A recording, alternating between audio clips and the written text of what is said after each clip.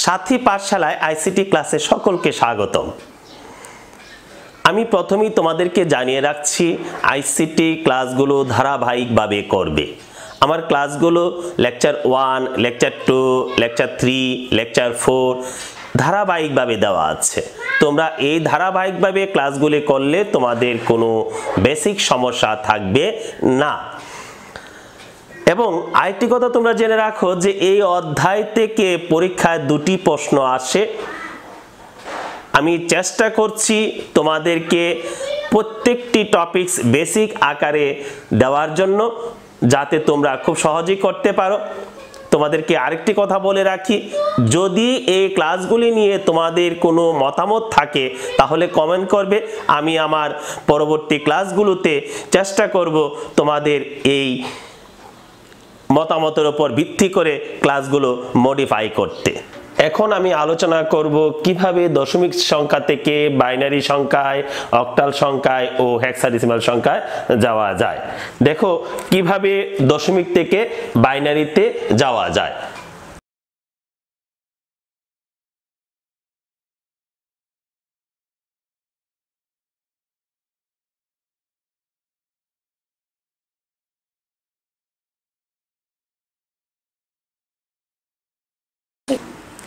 এই যে আমি সংখ্যাটি লিখলাম two five point four zero base ten তার দ্বারা বোঝালাম এটি একটি দশমিক সংখ্যা।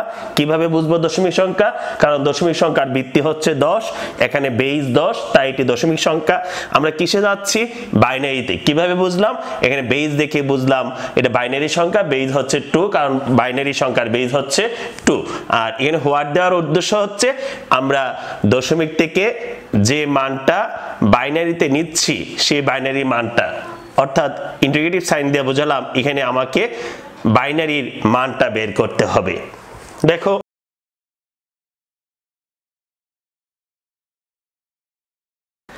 এখানে দুটি অংশ, এটি হচ্ছে পূর্ণাংশ বা ইন্টেজার আর এটি হচ্ছে ভগ্নাংশ বা ফ্র্যাকশন। আমরা পূর্ণ সংখ্যার জন্য একটি কাজ করব, ভগ্নাংশের জন্য একটি কাজ করব। পূর্ণ সংখ্যাটিকে প্রথমে এইভাবে লিখি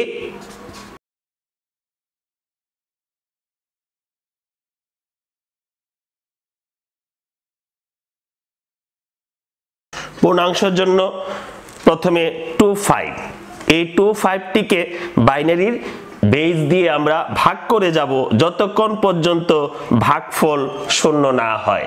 ভাগফল শূন্য হলেই আমাদের এই কাজটি শেষ হয়ে যাবে। কীভাবে করব দেখো? প্রথমে আমরা বাইনারি বেস দিয়ে ভাগ করব। বাইনারি বেস কত? টু টু দিয়ে যদি পঁচিশে ভাগ করি, বারো দুগানে চব্বিশ। হাতে থাকবে কত? এক। হাতের একটা হচ্ছে ভাগ শেষে বসবে। তারপর আবার টু দিয়ে ভাগ করব। বারোকে টু দিয়ে ভাগ করলে ছয়, হাতে থাকবে কত? শূন্য। তারপর আবার টু দিয়ে সিক্সকে ভাগ করব। তিন দোকানে ছয়, হাতে থাকবে কত? কিছুই থাকবে না, অর্থাৎ শূন্য। আবার টু দিয়ে থ্রিকে ভাগ করব। ওয়ান ভাগশেষ হবে ওয়ান। আবার দেখো টু দিয়ে যখন ওয়ানকে ভাগ করব, ভাগ করা যাবে, কিন্তু মানটা চলে আসবে পয়েন্ট ফাইভে অর্থাৎ আমরা বাইনারির মান হচ্ছে সব জিরো এবং ওয়ান হবে। তাই এখানে জিরো এবং ওয়ানের বাইরে যদি কিছু আসে, সেটি হবে না। তাই জন্য কি করব? যখন বড় সংখ্যা দিয়ে ছোট সংখ্যাটিকে ভাগ করব, তখন আমরা ছোট সংখ্যাটিকে ভাগশেষ বানিয়ে দিব এবং ভাগফলকে শূন্য বানিয়ে দিব। বুঝতে পারছ? এখানে বড় সংখ্যা দিয়ে যখন ছোট সংখ্যাটাকে ভাগ করব, ভাগফল শূন্য বানিয়ে দিব। ভাগফল কত হবে? এই যে ছোট সংখ্যাটি হয়ে যাবে ভাগশেষ। উত্তর রেখার সময় আমরা নিচ থেকে উপরের দিকে লিখব। ভাগশেষগুলি নিয়ে আমরা রেজাল্ট হবে।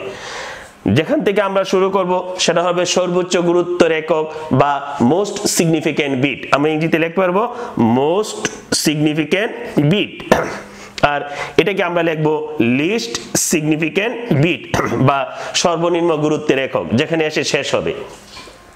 তাহলে পূর্ণ সংখ্যার মানটি আমরা পেয়ে গেলাম, বাইনারি মানটি। এখন আমরা কীভাবে ভগ্নাংশ সংখ্যার মান পেতে পারি সেটা দেখি।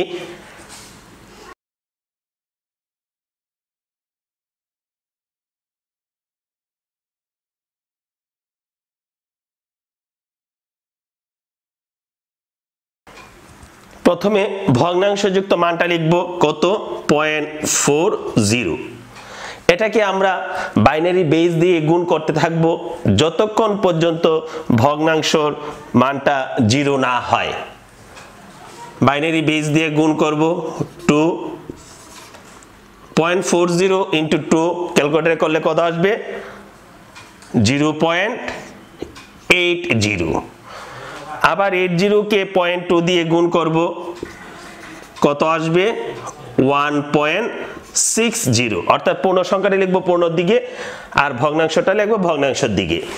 তারপর দেখি আমরা কত দিয়ে গুণ করব? আবার টু দিয়ে গুণ করব। ওয়ান পয়েন্ট টু জিরো আবার টু দিয়ে গুণ করব। কত হবে? Zero point four zero. আমরা একটা জিনিস খেয়াল করতে পারি এখানে, যে আমরা ভগ্নাংশকে যখন বাইনারি বেস দিয়ে গুণ করতেছি, তখন একটির পর একটি মান বের হচ্ছে, আমরা লিখছি। কিন্তু দেখা গেছে কি, একটি ভগ্নাংশ এখানে পয়েন্ট ফোর জিরো, আবার এখানে পয়েন্ট ফোর জিরো রিপিট চলে আসছে। অর্থাৎ দুই দিয়ে যতই আমরা গুণ করতে যাই, দেখা যাবে কি, চারটি সংখ্যা পরপর আবার এখানে একটা রিপিট হয়ে যাচ্ছে। যদি কোনো রিপিট হয়ে যায়, তখন ভগ্নাংশ গুণ করার কাজটি আমরা শেষ করে দেব। অর্থাৎ তার মানটা হবে পুনঃপুনিক শেষে আমরা ডট ডট ডট দিয়ে দিব। এক্ষেত্রে আমরা যখন মানটি লিখব, তখন মনে রাখতে হবে যে বাইনারি মানটা লিখব, তখন উপর থেকে নিচের দিকে আমরা মানগুলি লিখব। উপর থেকে নিচের দিকে। আমি একটা এরো সাইন দ্বারা বুঝিয়ে দিলাম। যেখান থেকে শুরু করব সেটা হচ্ছে কি? সর্বোচ্চ গুরুত্বের একক বা ইংরেজিতে most significant bit most significant bit. আর যেখানে এসে শেষ হবে, তার মানটা কি হবে? Least significant bit. Least significant bit. আমরা মানটা যখন লিখব, জিরোর থেকে এভাবে লিখব। এখন দুটা সংখ্যা একত্রে করে আমরা মানটা পেয়ে যাই। অর্থাৎ দশমিক থেকে আমরা বাইনারিতে যে মানটা পাচ্ছি, দেখি আমরা কি পাচ্ছি। সুতরাং two five point four zero দশমিক থেকে আমরা বাইনারিতে মানটা কীভাবে পাচ্ছি? নিচ থেকে উপরের দিকে পূর্ণ সংখ্যার ক্ষেত্রে one one one one zero zero one তারপর ভগ্নাংশর দশমিক, এখানে আমরা কি করব? উপর থেকে নিচ দিকে লিখব জিরো ওয়ান ওয়ান জিরো যেহেতু মানটা পুনঃপুনিক, তাই আমরা ডট ডট ডট দিয়ে দিলাম। আমরা পেয়ে গেলাম বাইনারি মান।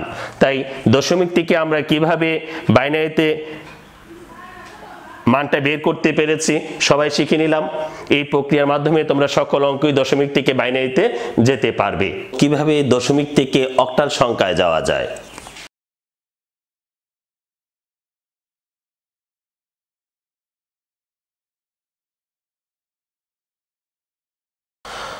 ধরি দশমিক সংখ্যাটি two five point four zero দশমিক বেস দিয়ে বুঝিয়ে দিলাম এটি দশমিক সংখ্যা। তারপর আমরা একটি মান বের হবে। যে মানটি বের হবে সেটা হবে অক্টাল সংখ্যা। বেস দিয়ে বুঝিয়ে দিলাম অক্টাল সংখ্যা। অর্থাৎ দশমিক থেকে অক্টালের মানটি কত হবে? এক্ষেত্রে আমরা মনে রাখব, একটি হচ্ছে পূর্ণাংশ একটি হচ্ছে ভগ্নাংশ। যেভাবে আমরা দশমিক থেকে বাইনারিতে গিয়েছিলাম, দুই দিয়ে ভাগ করে, আবার ভগ্নাংশের ক্ষেত্রে দুই দিয়ে গুণ করে সেম টু আমরা দশমিক থেকে যখন আমরা অক্টালে যাব, তখন অক্টালের বেস দিয়ে পূর্ণ সংখ্যাকে ভাগ করতে থাকব, যতক্ষণ পর্যন্ত ভাগফল শূন্য না হয়, এবং ভগ্নাংশ সংখ্যাটিকে আট দ্বারা গুণ করতে থাকব, যতক্ষণ পর্যন্ত আমার ভগ্নাংশের জায়গাটা শূন্য না হয়। এভাবে আমরা দশমিক থেকে অক্টালে যেতে পারি। দেখো।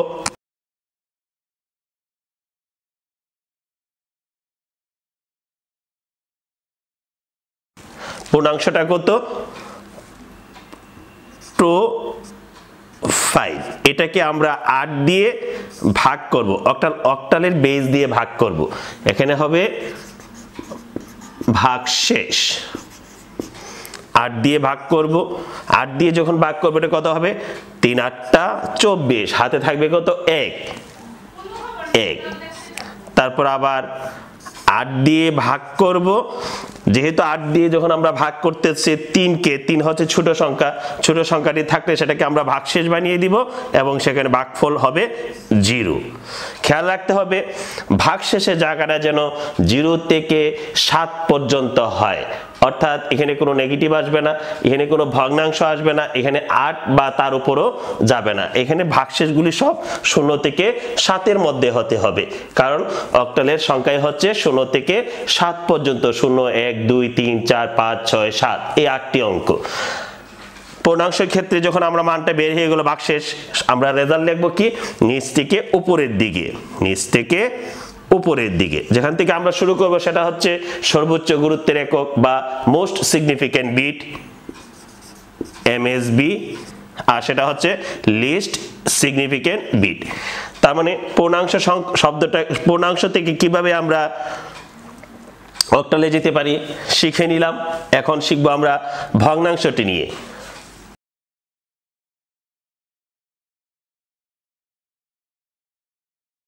আমরা প্রথমে লিখে নিব পূর্ণাংশ, তারপর লিখব ভগ্নাংশ।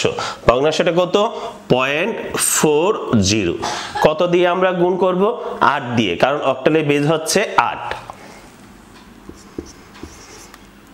করলে কত হবে? চার আটটা বত্রিশ থ্রি পয়েন্ট টু জিরো অর্থাৎ থ্রি পয়েন্ট টু জিরো হলে থ্রি হচ্ছে পূর্ণ সংখ্যা, আর টু জিরো হচ্ছে ভগ্নাংশ সংখ্যা। আবার এই ভগ্নাংশটিকে, অর্থাৎ পয়েন্ট টু জিরোকে, এর দ্বারা গুণ করব।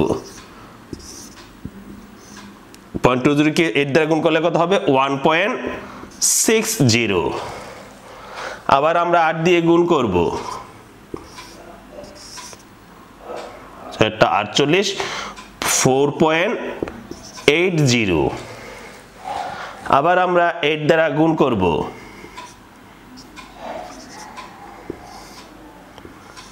আট চৌষট্টি সিক্স পয়েন্ট ফোর জিরো আমাদের আর ভাগ করা, গুণ করার প্রয়োজন নেই, কারণ দেখতেছি কি, এখানে ভগ্নাংশ পয়েন্ট ফোর জিরো আছে, অর্থাৎ আরেকটা আমার ফোর জিরো রিপিট চলে আসছে। অর্থাৎ এইভাবে যদি আমি গুণ করি, আবার শেষে দেখা যাবে কি পয়েন্ট ফোর জিরো আসতেছে, বারবার একই প্রক্রিয়া আসতে শুরু করবে, তাই আর গুণ করার প্রয়োজন নেই। আমরা রেজাল্টটা যখন লিখব, তখন দশমিকের পরে যতগুলো সংখ্যা লিখেছি, তারপরে আমরা পুরো পূর্ণ চিহ্নটি দিয়ে দিব। দেখো, এই ক্ষেত্রে আমরা কীভাবে রেজাল্টটা লিখব? উপর থেকে নিচের দিকে। যেখান থেকে শুরু করব, সেটা কি? মোস্ট সিগনিফিক্যান্ট বিট এবং যেখানে শেষ করব, সেটা কি? Least significant bit. এখন উত্তরটা আমরা একসাথে লিখে ফেলি। সে দশমিকের হচ্ছে কত? Two five point four zero.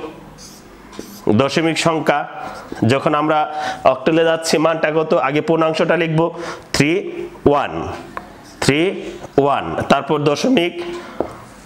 তারপর ভগ্নাংশের ক্ষেত্রে আমরা উপর থেকে নিচ দিকে লিখব।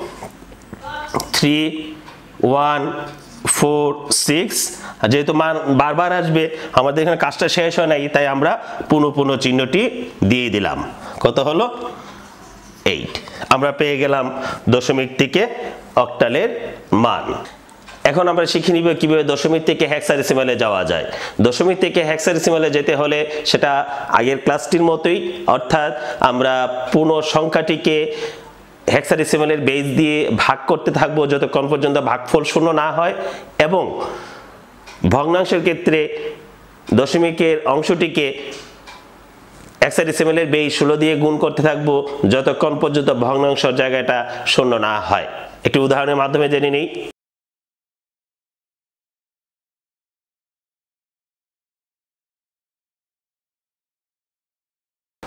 Say two five point four zero দশমিকের বেইস দশ। এখানে একটা মান বের হবে, যেটির মান হবে হেক্সাডেসিমালের অর্থাৎ হেক্সাডেসিমালের বেস দ্বারা আমরা বুঝে নিলাম, মানটা হবে হেক্সাডেসিমালের আমরা অঙ্কটা করে ফেলি।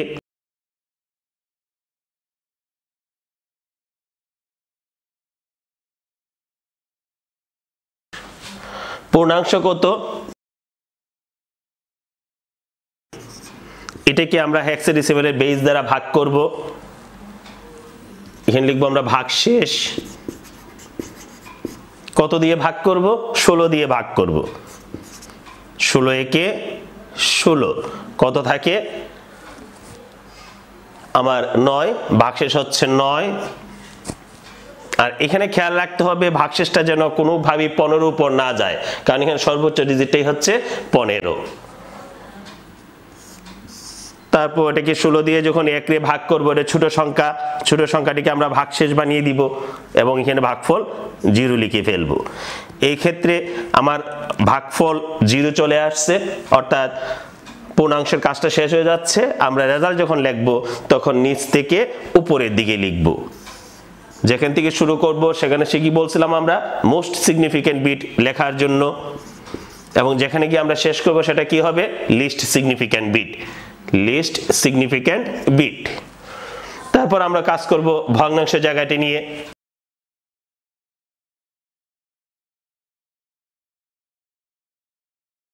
ভগ্নাংশ কত? Point four zero.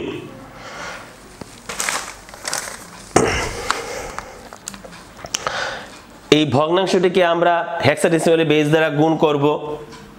গুণ ষোলো। পয়েন্ট ফোর গুণ ষোলো।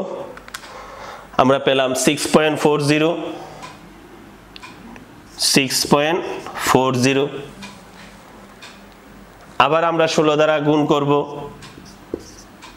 মান তো একই আসবে সিক্স পয়েন্ট ফোর জিরো আমরা দেখতেছি কি মানটা বারবার রিপিট চলে আসছে মানে রিপিটেশন হচ্ছে।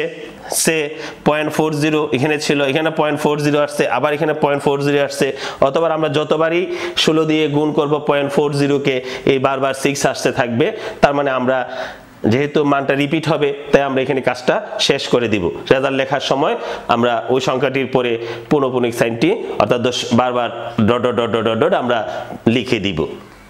রেজাল্টটা লেখার সময় উপর থেকে নিচের দিকে। যেখান থেকে শুরু করলাম সেটা কি? মোস্ট সিগনিফিক্যান্ট বিট যেখানে শেষ হবে সেটা কি? লিস্ট সিগনিফিক্যান্ট বিট সুতরাং two five point four zero ten সমান আমরা কি লিখব? পূর্ণ সংখ্যাটা কি লিখব। ওয়ান নাইন পয়েন্ট দশমিক ক্ষেত্রে উপর থেকে নিচে six six six six dot sixteen আমরা পেয়ে গেলাম দশমিক থেকে হেক্সাডেসিমেল সংখ্যা। এই একটি উদাহরণের মাধ্যমে স্যার আমাদের দশমিক থেকে কীভাবে অক্টাল বাইনারিতে এবং হেক্সাডেসিমেলে যেতে হয় তা শিখে নিলাম। তোমরা বইয়ের মধ্যে প্র্যাকটিস করে নিবে। আরেকটি কথা আমার এই ক্লাসগুলো নিয়ে যদি তোমাদের কোনো মতামত থাকে, তাহলে কমেন্ট করবে। আমি চেষ্টা করব পরবর্তী ক্লাসে তোমাদের মতামতগুলোর উপর ভিত্তি করে আমার ক্লাসটি মডিফাই করতে। থ্যাংক ইউ সবাই ভালো থেকো।